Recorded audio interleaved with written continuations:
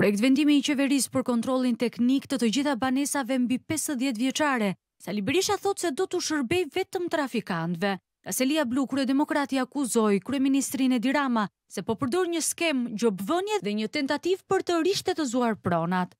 E gjitha kjo është absolutisht në interes të trafikantëve. I cili i vën syrin asaj shtëpie në kodër, jo thotë në kodër do ndërtoj unë, hiqe se e ke të vjetër ti. I vën syrin këtyre pallateve, këtu do ndërtoj unë thotë, qendër me emrin tim.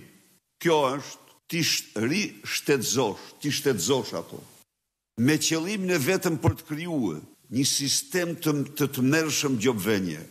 Në të njëjtën linjë me të ishte edhe kreu i Partisë së Lirisë, Ilir Meta, i cili akuzon qeverinë se ka vënë në shënjestër pronat më me vlerë për oligarkët e sektorit të ndërtimit. Janë vënë në shënjestër pronat e zgjedhura të qytetarëve, që gjenden kryesisht në qendër të Tiranës dhe të qyteteve të tjera kryesore të Shqipërisë.